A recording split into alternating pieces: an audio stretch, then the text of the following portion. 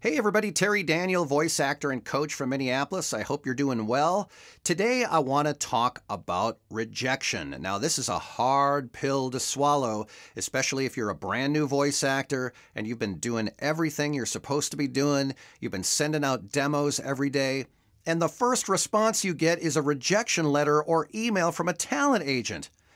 Now, the knee jerk reaction would be to run into a corner, start sobbing and feeling sorry for yourself, and then just giving up. Well, I'm here to tell you to buck up because this is part of being a voiceover business person. I still get rejected from talent agents. I still have agents who hate my demos, and I've been doing this for over 20 years.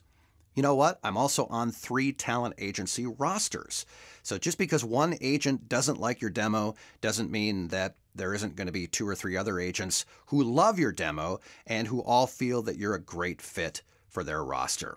I will say this too you can go throughout your entire career, not get on one talent agency roster, and you can still make a great living as a voice actor. 80% of my annual income comes by way of being an independent contractor, working directly with the voiceover buyer. That could be a producer, could be an audiovisual director at a corporation, might be somebody from an explainer video or animation company, maybe an e learning company. All my theme park clients are direct. I work with them direct with no middle person involved at all.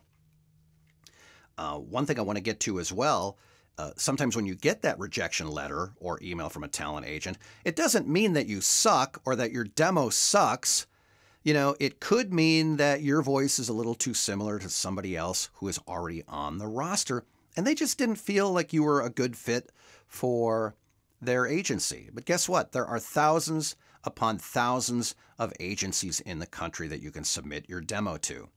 It's sort of like being a, a, really, really good photographer and you send your samples to somebody, but yet they choose a competitor instead.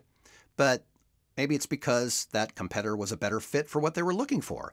It doesn't mean that your photos suck.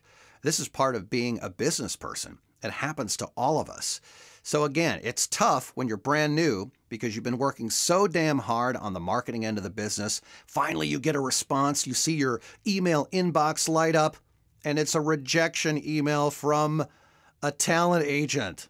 Believe me, I've been there, I'm still there. It doesn't matter how many years of experience you have, you're always going to get rejected from talent agents or maybe even a producer or two, but you just have to keep going. And remember, this is really important for everybody to hear this message. You can spend the rest of your career being just an independent contractor and still make a great living doing voiceovers. Now, this video is part of a video series for beginners, and I finally bought an easier domain to attach to it. If you go to voiceoverbeginners.com, you'll actually get into the entire playlist if you haven't seen the rest of the videos on how to get started doing voiceovers the right way, you know, how to do your demo the right way, to what to look for in a voiceover coach. There are other videos in this playlist that I think you'll find very, very helpful. And now there's just an easy way to get there. It's voiceoverbeginners.com com. My name's Terry Daniel, voice actor and coach. I will talk to you soon. Have a great week behind the mic, everybody.